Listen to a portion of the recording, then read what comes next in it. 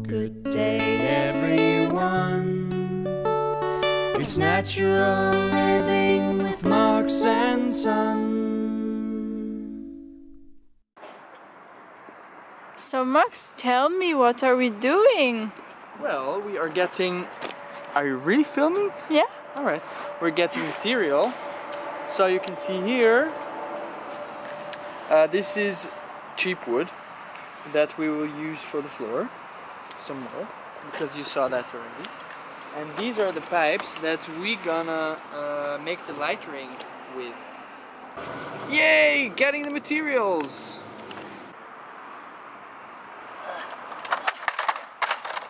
We've got our light dome. We just got it. It was just delivered.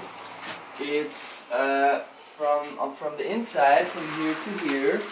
It's uh, 160, and on the outside it's 176. Uh, it's super huge. Uh, it also it looks super super good. That it's like super clear. You can see my hand like super clearly awesome thing. Um, it is made out of plexiglass, uh, and we it was not so cheap, but we hope that we will have it for a long time. And uh, yeah, it's really cool. It's really big. It lets a lot of light in the yurt, and we're looking forward to create the light ring with this as well. We are starting with the floor. we marked a middle point over here and we, we did it with a nail oh, the focus the focus we did it with a nail like this. And then what we're gonna do is we're gonna do half the circle here all around. These plates the these ones we got ones. we got uh, pretty cheap from a local farmer. And um, that's why we are kind of combining two types of plates because these ones we bought at the do-it-yourself shop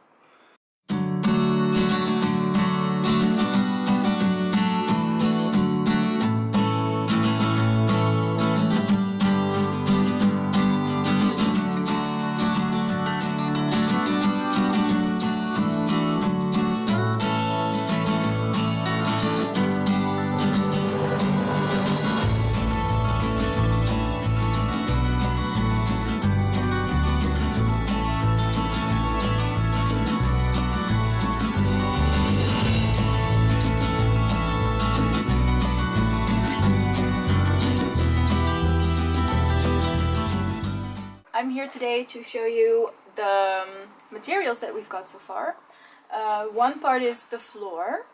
Um, we cut out all the pieces of the floor. Um, this is, for example, the tiniest, tiniest piece of the floor that we've got. number 18 and we numbered all of them so that we uh, we can put them together uh, easily when we um, when we are actually putting up our floor. Here, this material, you can see the different sizes of wood. This is like the big wood. This is the smaller wood. The big wood is for um, to put our floor to put our floor on. So this is really the basis of it, the foundation.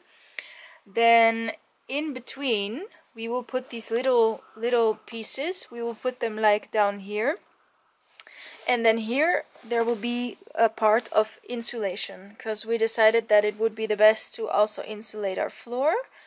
Um, so that's just a little part on how we will do the basis of our floor. There will be more aspects, but we haven't had the, the time yet to get the material.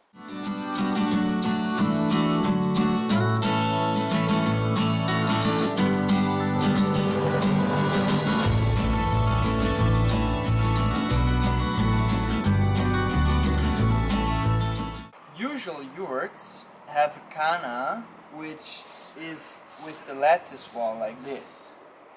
Uh, we decided to go for a plywood wall uh, because for us it just has several benefits. with the insulation because usual yurts they don't they just have a very thin insulation and uh, what we want to have is like a 12 centimeter sheep wool insulation um, so we will do it like this that we're gonna make uh, like sacks uh, out of uh, steam diffusion foil where uh, the sheep wool insulation will be uh, covered in. And this will be here on the back. And uh, this will be glued to this wall.